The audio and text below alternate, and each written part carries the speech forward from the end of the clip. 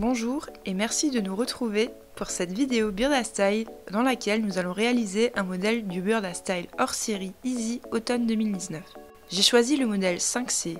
C'est une jupe en jean avec des boutons pression et des ruchers sur l'avant.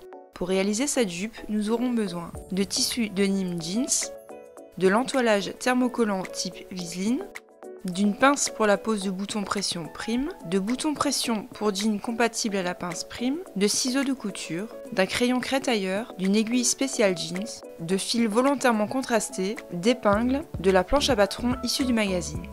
Vous aurez également besoin d'une machine à coudre.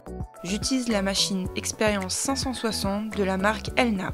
Je vous conseille également de vous munir de votre fer à repasser. Les pièces du modèle 5C sont représentées en gris sur la planche. Je place mes pièces sur mon tissu en respectant le plan de coupe indiqué et en respectant le droit fil. Vous pouvez couper directement les pièces comme je l'ai fait ici, en suivant les repères de taille, ou vous pouvez décalquer les pièces sur du papier de soie dans le cas où vous souhaitez réaliser le modèle dans plusieurs tailles. Je n'oublie pas de relever les repères du patron nécessaires lors de l'assemblage.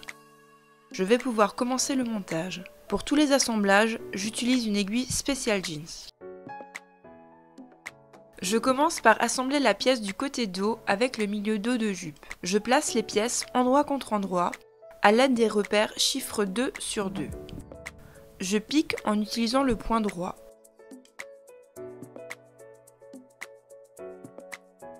Pour éviter que les bords du tissu ne s'effilochent, je surfile l'assemblage à l'aide d'un point zigzag.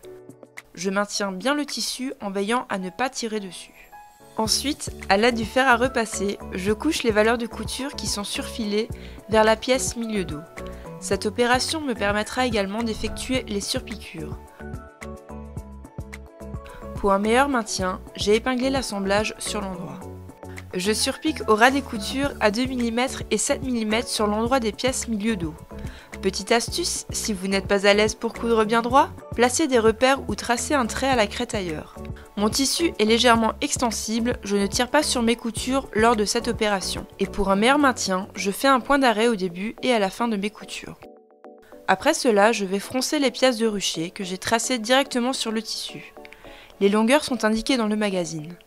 Pour effectuer les fronces, je règle la machine sur le point fronce si vous ne disposez pas de cette option, il vous suffira de régler votre machine sur le point droit le plus grand.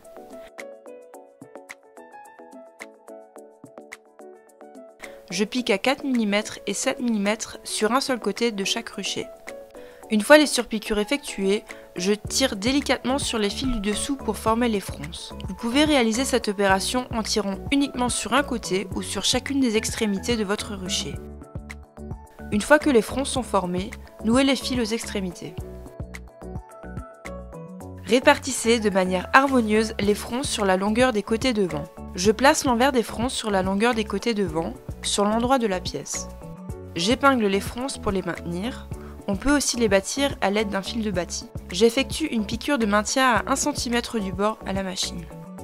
Je place ensuite endroit contre endroit les pièces milieu devant et côté devant à l'aide des repères chiffres 1 sur 1. Les ruchers sont saisis entre les deux épaisseurs, j'assemble mes pièces. Une fois l'assemblage effectué, je surfile et je couche les coutures fer vers les milieux devant de jupe. Comme précédemment, je surpique doublement sur l'endroit. J'effectue ensuite l'assemblage des coutures latérales.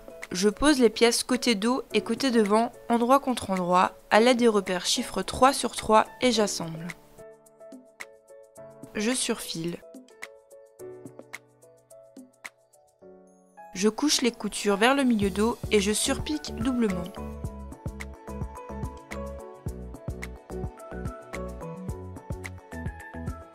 Maintenant que toutes les pièces qui constituent la jupe sont assemblées, je vais former l'ourlet au bas. Je commence par surfiler le bas de la jupe sur toute la longueur.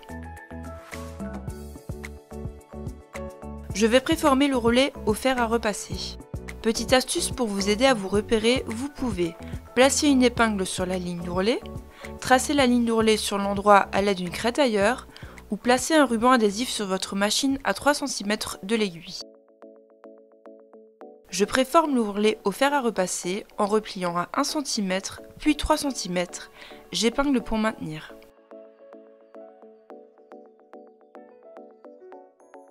Je pique l'ourlet à la machine. Veillez à ne pas piquer les fronces. Pour cela, on vient interrompre la couture au niveau des ruchers. Je reprends la couture là où je m'étais arrêtée.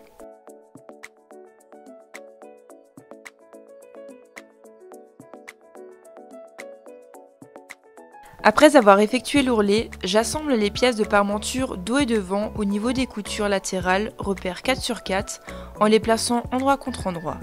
Ces pièces vont permettre une belle finition dans le haut de la jupe.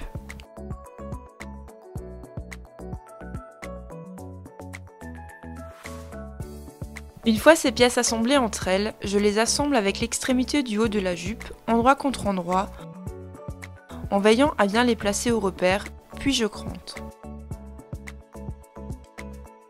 Ensuite, je rabats les parmentures sur l'envers et je passe au fer à repasser pour maintenir. On va préformer les parmentures de milieu de jupe au fer à repasser et maintenir à l'aide d'épingles. C'est ici que vont venir se placer les boutons pression. Je pique au ras du bord tout le long de la ceinture. Ensuite, je vais surpiquer les parmentures de milieu devant doublement et de chaque côté des parmentures. Je vais pour finir poser les boutons pression. Je place à l'aide du patron les repères de position des boutons pression. Je commence par percer les trous soit à l'aide d'une pince à percer ou avec la pince prime en veillant à choisir les embouts adaptés. Je place d'abord les pressions femelles sur le dessus de parmenture, puis je place les pressions mâles sur la parmenture du dessous. Je place les parties et je presse avec la pince. Les boutons pression de la jupe sont installés. N'hésitez pas à visionner notre tuto sur les boutonnières. Notre jupe est terminée et prête à être enfilée.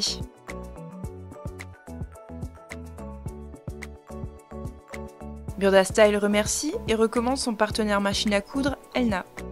Merci de nous avoir suivis et à bientôt pour de nouveaux tutoriels Burda Style.